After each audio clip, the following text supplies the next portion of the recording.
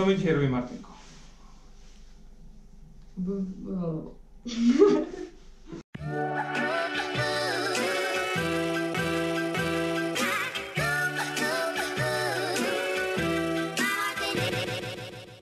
Co dzisiaj robimy? Obudowywujemy basto, robimy parapety, robimy listewkę na trzawki yy, i łączymy te wszystkie baniaki tym.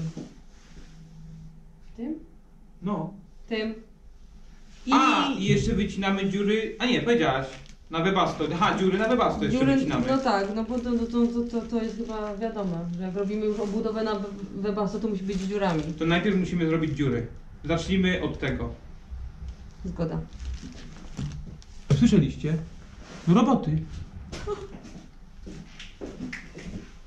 Próbujemy przypasować taki dzynk, z którym wejdzie sobie taka osłonka z, z tą rurką, ale niestety Jest trochę za duży.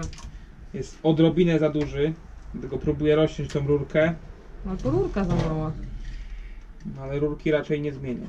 No i co ja t- t- tak mam to tutaj przykleić, skleić co taśmą. Nie no, bez sensu. No bez sensu, mega bez sensu. Myślałem, że to wejdzie sobie fajnie, bo kurde no. Co teraz z tym zrobić? Mam. Jest jakaś opcja, żeby to jakoś obejść? No nic, wracamy do garażu. Nie uwierzycie w to, na co mój mózg właśnie wpadł. Zobaczył, że jest. Mam dużo takich zużytych plastikowych opakowań po różnych klejach i jakichś tam silikonach, które akurat idealnie wchodzą na to. I tak samo ta rurka idealnie wejdzie w środek. Więc zrobię po prostu z tego złączki. No i super. Tu się przyklei, tu się przyklei, to się wsadzi. Miałam taki sam pomysł, tylko ci zapomniałam powiedzieć. Na pewno. Idziemy to robić.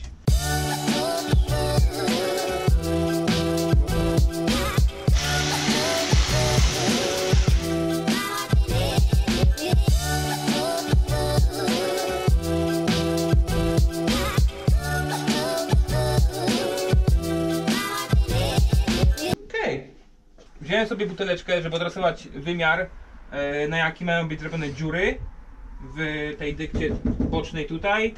E, odrysuję cztery obok siebie i będziemy rżnąć. Dobra.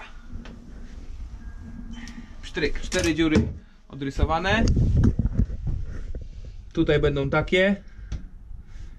Zaraz to będziemy wycinać.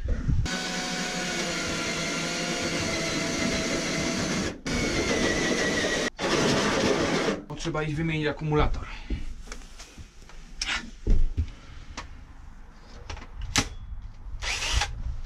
Teraz możemy jechać.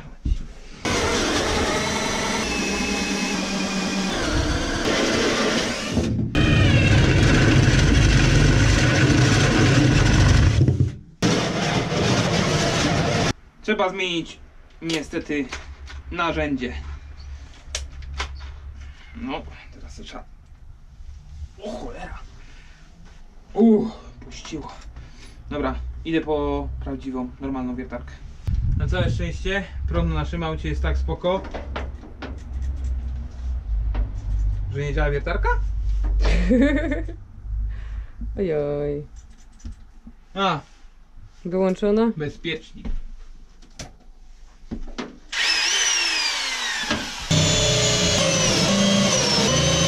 Okej. Wiertareczka już się nam nie przyda. Dziury są niestety troszeczkę za małe, ponieważ to wiertło jest tylko 39 mm, a dziury muszą być 46, 47 nawet, może nawet trochę większe, może nawet 50. Więc teraz do akcji musi wkroczyć już wyżynarka. I znowu ilość akumulatorów i przetwornica, którą mamy są nieocenione.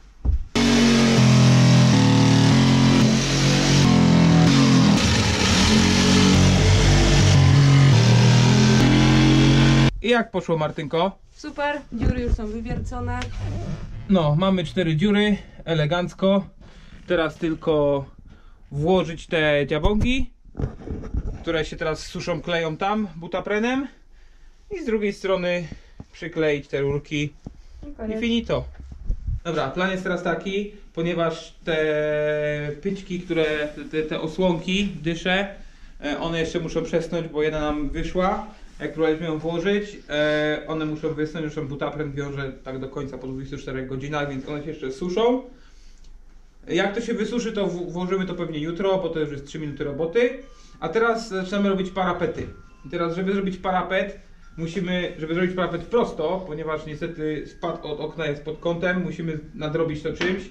Robimy teraz z ozby taką podkładkę. Skleimy to klejem do drewna o tak. I to już sprawdzaliśmy na aucie, wyrównuje nam ładnie poziom, siądzie. To się przykręci do samochodu, do, y, do tego spadu w oknie, a do tego z góry przykręcimy już normalnie wkrętami parapet. I robimy proste parapety tylko na dole, ponieważ to jest, to jest sporo roboty to raz, yy, jest materiału dużo, a dwa tylko dolny parapet nam zależy, żeby był prosty, cała reszta może być krzywa, w sensie pod kątem nie robi to różnicy. No, to klejmy.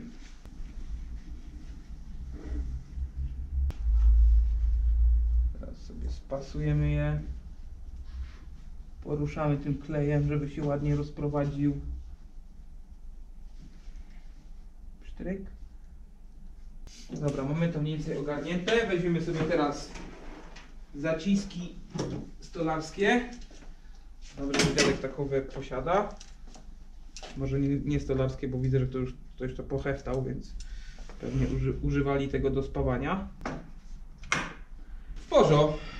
To mamy zrobione. E, Klej ponoć po 20 minutach już e, trzyma, e, ale trzeba zostawić na 12 godzin, mówiłaś? Tak. No, na 12 godzin, więc to sobie musi przeschnąć, no przynajmniej do jutra.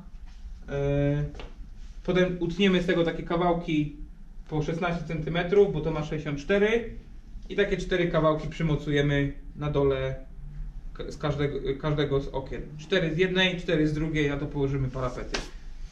No, mamy y, deseczki bimadle chwycone czterema zaciskami. Będą się kleić. Tymczasem Martyna znów będzie malować. Jak zawsze. Zakładam rękawiczki, bo jest zimno. Nie dość, że masz rękawiczki normalne, to jeszcze teraz gumowe. Bezpieczeństwo przede wszystkim. No. Idę na operację. Trzecia warstwa lakieru.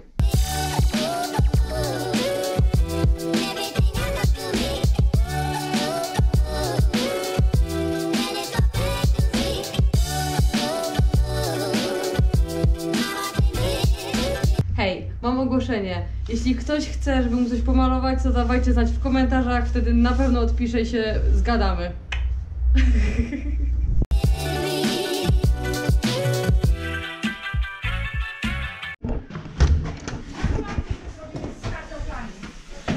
Dzień dobry. Dzień dobry, przyszliśmy coś zjeść. Co jest pysznego? Co nam do gara za, za- zajrzymy? Mmm. Opowiedz nam, kochanie, co dzisiaj ugotowałaś? Barszcz jeszcze się gotuje.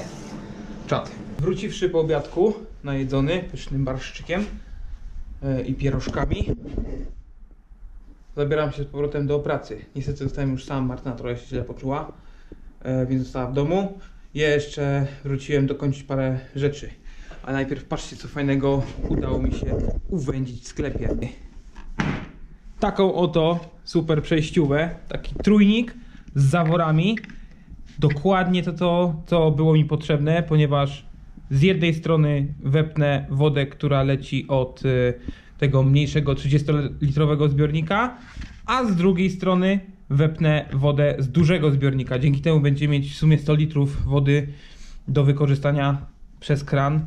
Nie trzeba będzie przepinać, przelewać, nie będzie zabawy. To, czego był mi brak, kątowniczki. Kątowniczki, e, które się przydadzą do montowania różnych desek, na przykład do zabudowania webasto e, i też do zrobienia fajnego patentu na drzwiach, ponieważ na drzwiach ta, ta wata to wszystko strasznie odlega od drzwi i wy, wypycha dyktę, więc żeby ta dykta, którą teraz zamontuję, która teraz suszy już, e, nie wypchała się i żeby już nie było, że, że znowu będzie ocierała o drzwi, zamontuję dwie takie wstawki E, I do tego właśnie niezbędne będą mi kątowniczki.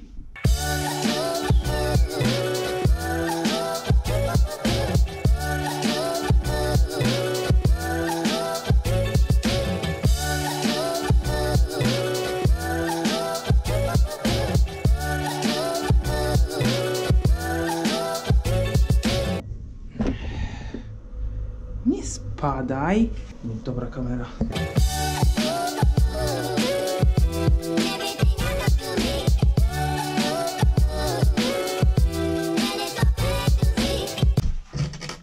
Ale się palłem w róg. Ała! Kuźwa. Chyba muszę kupić takie kuleczki, jak się zabezpiecza dom przed dziećmi.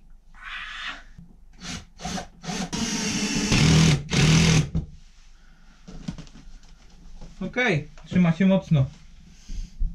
Dobra. Dodatkowy plus jest taki, że jak już przywalę tą dyktę, to jest jeszcze na środku w dwóch, w trzech miejscach ją tutaj przykręcę, więc powinna być jeszcze bardziej sztywna. O, mam nadzieję, że, że to podziała. Folia sobie elegancko śmiga, nie dotyka drzwi. No, tylko tutaj trochę przy końcu. Więc już jest połowa sukcesu? Albo nawet 60%. W każdym razie jak przywalimy jutro tą dyktę, jak wyschnie lakier, to mm, będzie cud miód. No dobra, na dzisiaj to tyle. Wracamy już jutro.